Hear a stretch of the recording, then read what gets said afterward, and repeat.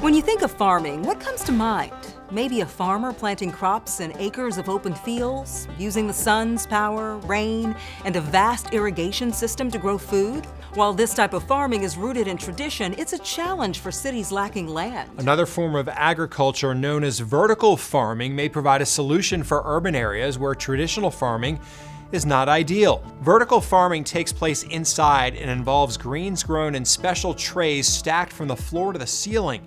LED lights replace the sun. The process often uses no soil and less water than traditional farming. Plus, these farmers don't have to worry about bugs hurting the crops. Reporter Steven Sarabia shows us how a company in Phoenix sows the seeds for smarter farming.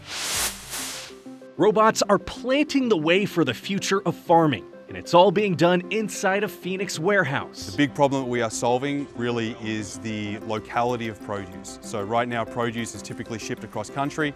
Here we can have production right next to distribution. Sam Bertram with OnePointOne showed us around the robot-operated farm.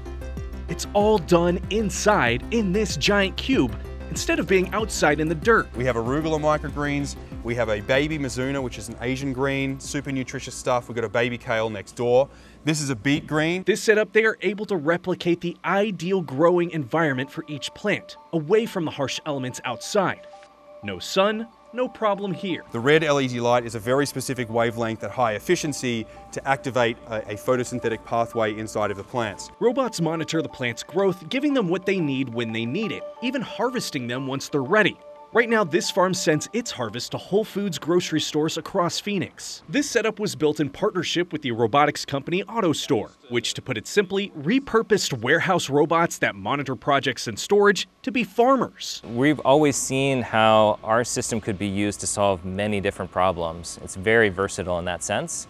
And so we're, we're excited to see how it could work in agriculture. Bertram says the goal is to have farms like this set up close to grocery stores as a way to get veggies to people faster than it takes to ship them across the country from traditional farms.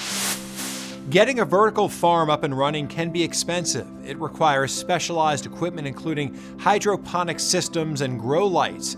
And because of the grow lights, it can be an energy intensive process. Also, vertical farmers typically can only grow a limited number of crops like leafy greens, herbs, and fruiting vegetables like tomatoes.